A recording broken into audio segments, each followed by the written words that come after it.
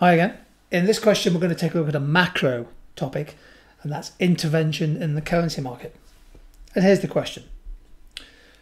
The diagram shows the market for sterling pounds, which is in equilibrium. It's currently in equilibrium at a price of 2 US dollars uh, to the pound with 25 billion pounds traded.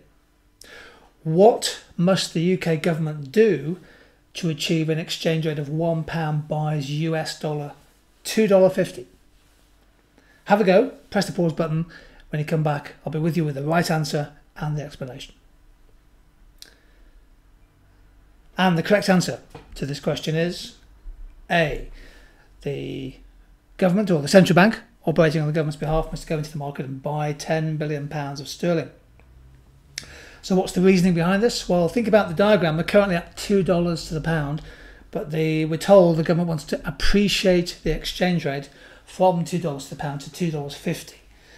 So that clearly needs the price to go up. They could use interest rates, but we're not given that as part of the options. It's clearly going to be intervention in the market. The central bank, for example, the Bank of England, if this was the case, needs to go into the market and accumulate buy pounds to increase demand. So what needs to happen is that the central bank needs to increase the demand curve from D to D2 to reach this new equilibrium here at $2.50. Well, we've shifted the demand out by 10 billion pounds at each price level.